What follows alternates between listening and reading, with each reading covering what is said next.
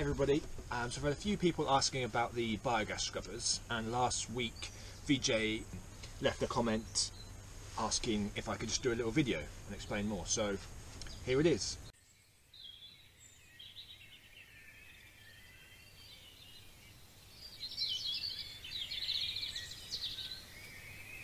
Before we get into the kind of how to set these up with the digester, I just want to go into a little bit about the kind of the why we need to do it. So when we put all our food and the manure and things into the biogas digester, we're digesting in an anaerobic environment, so without oxygen. And all those carbon, hydrogen, other elements that are in those food and manure items are going to get turned into either sediment or into some kind of gas as well. We're interested obviously in the, the methane, but most of the time when you're producing biogas, you're getting methane, carbon dioxide and hydrogen sulfide. Um, hydrogen sulfide is only a little bit, but that is a, kind of a, a, quite a nasty gas. It can, one, it attacks your mucous membranes, and also it is corrosive to, to metals and things like that. So if it's in your gas system, in your system, your cooking system, anything like that, over time it'll attack anything that you're, you're using and it will corrode it away. So it means that those things won't last, last as long. So what we want to do is we want to purify the gas, remove the hydrogen sulfide and the carbon dioxide. Carbon dioxide we want to remove because it just means the gas burns better.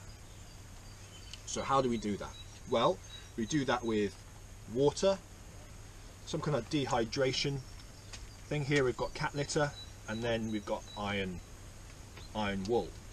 So the water is to mainly get rid of the carbon dioxide. So the carbon dioxide will dissolve in water. Um, you may hear about the acidification of the oceans because of the increasing carbon dioxide in the atmosphere. So the, the water acidifies um, forms carbonic acid um, bicarbonate um, with some free hydrogen ions. Anyway a bit technical probably you can't hear me right around because of the rain behind us right now. Let's maybe just wait for this shower to finish.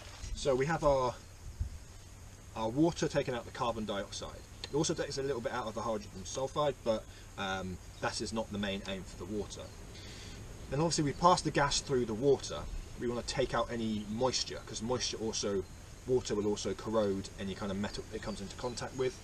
To do that, we're using cat litter. Um, other people use silica gel, but cat litter's cheap and freely available, uh, even where I am anyway. Um, and then lastly, we have the wire wool, or steel wool. Now that's what reacts with the hydrogen sulfide to remove that. So after the, the gas coming in, in these two here, removing the carbon dioxide, taking out any moisture and then removing the hydrogen sulfide, the stuff that comes out and then goes to the, the, the storage tank should be purified methane. Now it won't be 100%, it's more likely to be kind of close to 80 or 90, but that is that'll get you a nice blue flame. Okay, my digester's in a bit of a state at the moment because I've essentially decommissioned it for winter. Um, it was it was taking too much to costing too much to heat it, so anyway, so this is my in, this is the um, airlock thing for the out pipe, and this, this is my this is where the gas comes out. So that's where we're gonna put the um, first line for the scrubbers.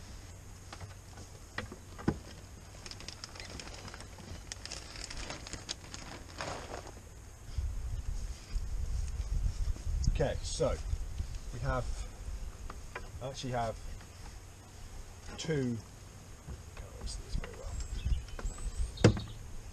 two pipes with caps attached. Uh, one that could go either side but I'm only using one. Because it's going into the water it doesn't matter that one of them is not attached because the water is essentially sealing it. So I'm just going to take this stopper cap off. That goes there. It's got a really nice fit. So now the gas is going out, out of the digester into the water. Then one thing to notice with these, uh, these is that the, the pipe that goes from with the gas is going to the bottom of the water, and then at the top, the one that comes out is just in the top of the lid. So the gas is going to come out of here, bubble through, and then come out of there. And again, it goes into the bottom of the cat litter, the, the, the dehydrator, and comes out of the top. And the same again, it always goes into the bottom, and then it comes out from just uh, really close to the top. And then out from here into the gas bag. There you go. Okay, so in summary, there's three steps. One is removing the carbon dioxide with the water.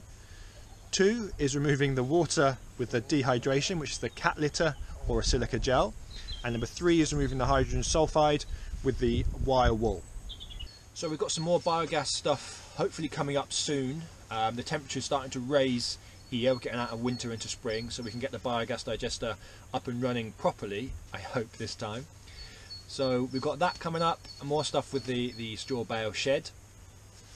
But if you want to know more about anything else that I've done, then you can check out, well, I've got my biogas videos up here. Um, any more questions, anything that needs more explaining, let me know.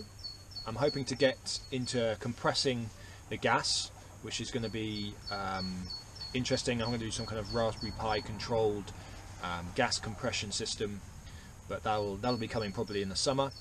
Otherwise, yeah, if you've got any other video ideas, let me know. If you're not subscribed already and you like what you've seen, please just um, click that subscribe button underneath there.